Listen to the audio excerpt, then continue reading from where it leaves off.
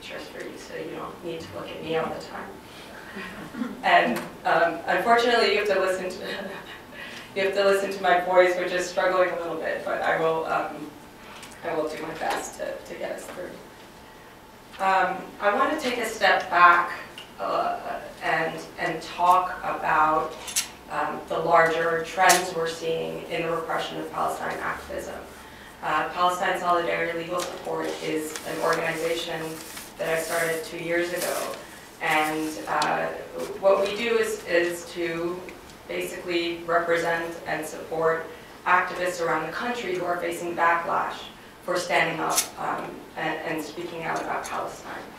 Um, so as you, imagine, you can imagine, we've been incredibly busy over the last two years uh, helping folks uh, deal with, with the relentless, uh, relentless attacks on, on them for, uh, for their speech activities, basically. We're talking um, almost exclusively, exclusively about activities that are that ought to be protected by the First Amendment here, um, and, and, that includes a range of things, including boycotts and uh, street theater and um, you know all kinds of activities that, that our Constitution um, supposedly protects. Um,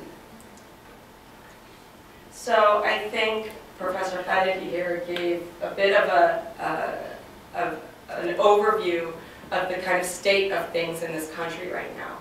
Uh, there's an undeniable rise in activism around Palestine, and I think that's been fueled uh, partly by uh, the uh, Operation Cast Lead in 2008, 2009. Certainly, this summer's assault on Gaza uh, fueled a lot of uh, uh, outpouring, an outpouring of, of support and protest around the country. Um, and, and of course, the, the growth of the boycott, divestment, and sanctions movement, especially since 2005. Um, we are seeing the vast majority of activism happening on college campuses. It's young people who are passionate, who are who uh, might not have the kinds of uh, the kinds of inhibitions that their parents have had about speaking out about Palestine in this country. Um, uh, and, and, they are out there, they are taking risks, they are um, uh, confronting the issue full on. Um, so, so I think that's one reason anyway that, we're, that, that a lot of this is happening on campuses. And um, as he also mentioned, because of this rising activism, we're seeing a, an immense amount of attention um, uh, being placed on this by uh, a, a, large number of uh, pro-Israel Zionist groups in this country who, um, uh, you know, also at the behest of the Israeli government, are intent on uh, silencing, crushing, um, criminalizing this kind of activity. Um, so what I want to talk about is, and, and sorry, and you know, the, the problem I think in Rasmea's case illustrates this as well is that the U.S. government follows suit.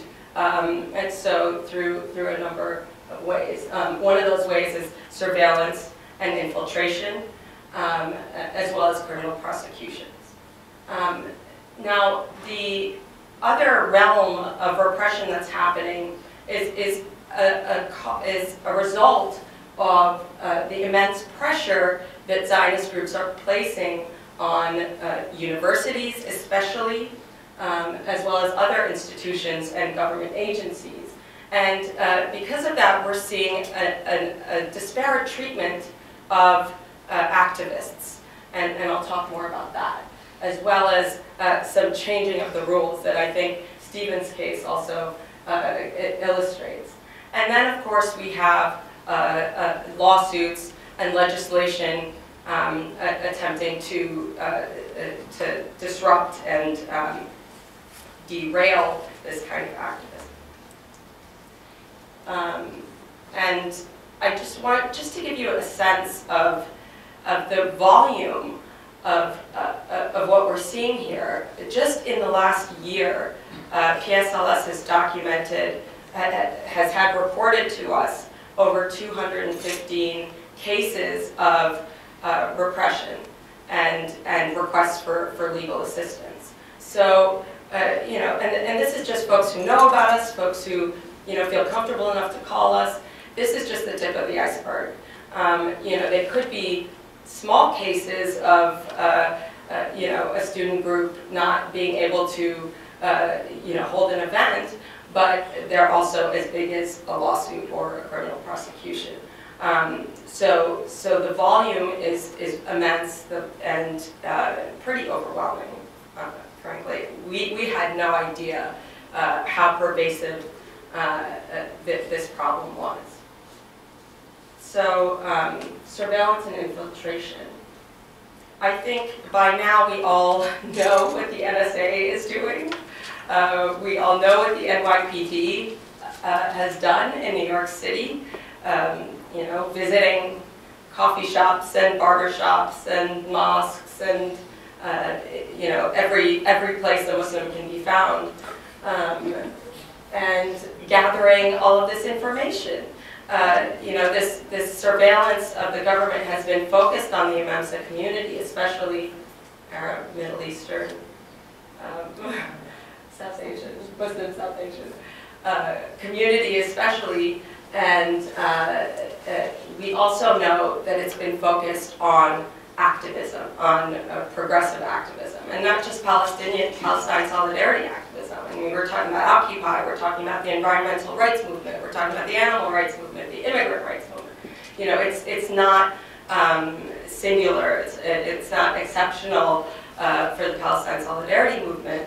Um, and certainly not in history, as we know from COINTELPRO and, and the targeting of the civil rights movement, et cetera, the American Indian movement, Puerto Rican independence movement. Um, but what we're seeing is that there is a focus on the Palestine solidarity movement as well. And, uh, you know, this takes the form of FBI visits to activists to ask them about their, what they're doing. Um, uh, you know, we see student groups have found bugs in their prayer rooms uh, at school. Um, we've seen, um, you know, I think uh, Andrew mentioned the, uh, um, the subpoenas of 23 anti-war activists in the Midwest. This was based on uh, an agent uh, uh, infiltrating the, the, the, group that they were working with for two years, was it? a long time uh, and trying to catch them in, a, in, in, some kind of illegal activity. Four years later, there's no indictment.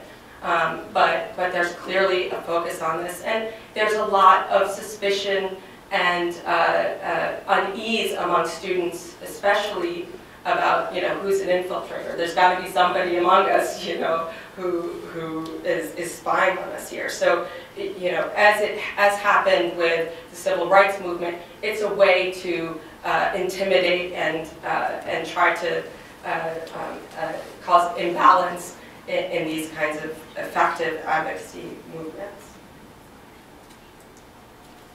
Criminal prosecution, I won't talk about Rasmea's case. I think um, Andrew did a great job of of making the connection of that and, and efforts to, to intimidate um, the, the movement as a whole and its connection with the, the Midwest subpoena case.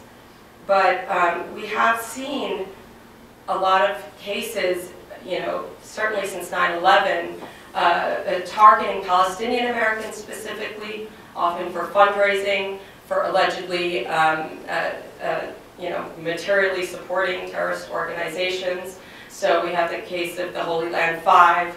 Um, uh, we have the case of Sami Al-Arian, who was a professor in Florida, um, and his conviction or his case was based mainly on his advocacy, his speech, and his writing, and etc.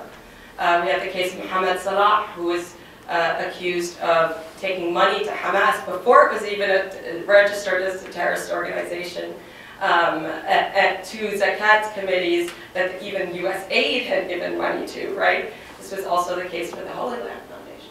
So you have all these kinds of uh, so-called material support cases that really cause a chill in the community, that chill um, charity efforts, that, that chill advocacy on, really? Uh, chill advocacy efforts. Um, you know, we see less of, uh, we see less criminal prosecutions in the, the student activism arena. One, uh, one exception, one extreme exception was the conviction of students for interrupting Michael Oren's speech at UC Irvine. I don't know if you all heard about that case, but uh, you know, they, uh, it was a popcorn demonstration. One after another, they shouted out uh, um, statements uh, during Michael Oren's lecture at UC Irvine. And they were convicted of a, for, uh, based on an obscure California statute disrupting a public meeting. So, um, so these kinds of prosecutions, again, are, uh, are, are, really chilling and intimidating. Uh, and I, I won't go into some of the, the common themes we see in these, which, which is really a, a very close cooperation with Israel uh, to gather evidence, to bring you know, Shin Bet agents to testify in court anonymously. Um, it's, it's really uh, an amazing uh, underworld, so to speak, going on in these kinds of, criminal prosecutions. Um, disparate treatment. I think uh, you know this is this is something that uh, what we mean by this is basically different treatment of people because of, of what they're saying. And this, the First Amendment is really meant to protect uh, uh, against exactly that. Uh, it's supposed to protect, uh, you know, any viewpoint, uh, however unpopular it is, from um, unequal treatment by the government. But, but nevertheless, we're seeing this happen a lot. And one way is through administrative harassment. Uh, it sounds really boring. It sounds kind of uh, uh, you know, not very interesting, but um, it, it's really pervasive and its effect is very chilling to students especially. And, and I'm talking about this mostly in the student context, but you know, you have student groups who can't reserve a space. You know, they're told, oh, it's taken, sorry. Um, they are um, not allowed to, to uh, um, publicize their events until it's approved, and it doesn't get approved until a couple days before. Things like that really affect students' ability to organize, and this has been a consistent problem at CUNY, including with your talk recently, uh, Steve. Um, uh, things like additional security costs are being imposed on student groups, and this is a really uh, uh prohibitive thing. Student groups don't have a lot of money, and when they say, oh, your, your event is controversial, um, you need security, and you have to pay for it, um, what, what does that mean for them? Uh, we've, we've heard from student groups who have been told you can't use the, the, the name SJP, Students for Justice in Palestine. You can't use the word apartheid. You can't use the word Palestine, literally. Um, and, uh, you know, these are fundamental First Amendment violations. In the private school context, it's harder to challenge them, but, uh, but that's what we help students to do. Um, and the second way is, is through disciplinary procedures and, and really the, the unequal application of rules. So in Stephen's case, you see that the, you know, all of a sudden the Board of Trustees has a say in who gets hired and who's qualified and who's fit to teach. This has never happened before. It's a rubber stamp, uh, you know, a clear kind of uh, unequal application of, of, of, procedures and rules. Um, at Northeastern University, uh, they, they distributed these mock eviction notices, um, and uh, you know, they got in trouble for it. They got suspended uh, for allegedly violating rules about flyering. Of course, you know, how many flyers do students get under their doors? How many people get disciplined for those? Unequal application of the rules. It recently happened at Loyola University where students were lined up to register, Palestinian students lined up to register in a birthright Israel table, saying, hey, I have a birthright, why can't I go? Um, uh, to really to highlight its discriminatory nature against Palestinians. Immediately, uh, Hillel students who were doing the tabling complained to the administration, saying, we feel unsafe, we feel threatened, uh, this is uh, discrimination, uh, and uh, you know they violated all of these rules. They should have registered their demonstration 14 days ahead of time as the um, rules require, even though they had just heard about it the night before. So uh, what happens, they have to go to a hearing, um, and they're found responsible not for all the discrimination charges against them, which is a good thing. I think the administration realized that's, that's just not credible. Um, but they got uh, found uh, responsible for, uh, for not registering their demonstration. Hillel also had not registered their tabling event and got a slap on the wrist, while um, Loyal, while SJP was put on probation for a year, meaning they cannot get money. They cannot, you know, uh, put on events that, that they would have put on otherwise. Oops, I'm gonna go back. Sorry, changing the rules. Um, previous, no, sorry. I have to wrap up, but I just want to make a couple more points. Changing the rules. Um, we see this again and again. It happened at uh, Brooklyn College last year after this BDS event with Omar Barghouti and uh, Judith Butler. Uh, got all of the New York politicians up in a, what do you call it, um, in a tizzy, thank you. Um, and uh, right afterwards, Brooklyn College changed all of its policies on security fees and uh, you know, RSVPs for events and um, uh, all, all of these other rules specifically in response to SJP's event. It happened at Barnard College where students put up this banner. The next day it was taken down uh, by the administration who had approved it and put it up uh, because of complaints from Hillel students saying, this doesn't make me feel safe because it erases Israel from the map. Um, you know, Barnard right away said no more banners. You know, these are banners that have been up for uh, for decades at, at, Barnard that student groups uh, put up. Um, so instead of confronting the issues, dealing with the with the discord, with the disagreement, uh, they just changed the rules to make it more difficult. Um, inciting law enforcement investigations, this really relates to the fact that um, uh, these Zionist organizations are make a point of accusing students of material support for terrorism. Oh, they're having a fundraiser. It must be going to Hamas. Um, you know, uh, making, trying to make these connections. SJP has connections to Hamas. These are really inflammatory, really dangerous accusations that are completely baseless. Um, and uh, what they do is bring government scrutiny, law enforcement scrutiny on these activists and on these groups. Um, and, and, it's really chilling uh, and damaging. Cyberbullying, you won't imagine the nasty, Islamophobic, misogynistic death threats, rape threats that, that we see coming to activists for speaking out. It's really uh, disturbing. Um, lawsuits, this should probably have been up front, so I'm going talk about it more. I'm going to leave to Yaman the, the use of the Civil Rights Act to attack uh, student activism, but we're also seeing a lot of threats against BDS through lawsuits. So we have the Olympia Food Co-op boycott, um, boycott lawsuit from a few years ago, which is now an appeal in the Washington Supreme Court, um, trying to nullify the, the Olympia uh, Food Co-op's boycott. We, after the ASA, the American Studies Association academic boycott resolution last year, last December, there were lawsuit threats against the ASA claiming discrimination. Um, no, no suits have been filed, but we're seeing these happening in other countries, and they're clearly um, uh, targeting uh, BDS in this way. And finally, legislation. Um, again, after the ASA boycott, we saw legislation in six states at least and the U.S. Congress trying to defund universities that fund their professors going to ASA events or uh, association events where, you know, they, they endorse boycotts. Um, and, and, you know, with coalitions, we managed to defeat a lot of this legislation, including in Maryland. Um, but, you know, Congress is capable of anything, and I think Yaman will, will talk uh, also about another uh, uh, legislative effort happening right now that you all should be aware of. So I'll, I went way too long, I'm sorry.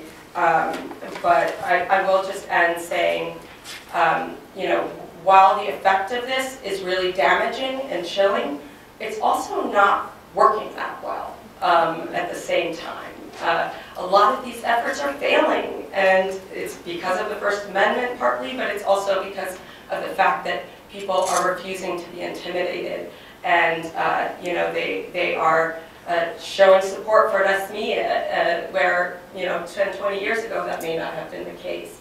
Um, So, so it's heartening to see the, uh, the number of people who are willing to stick their necks out and stand up and, and not be silenced. Thank you.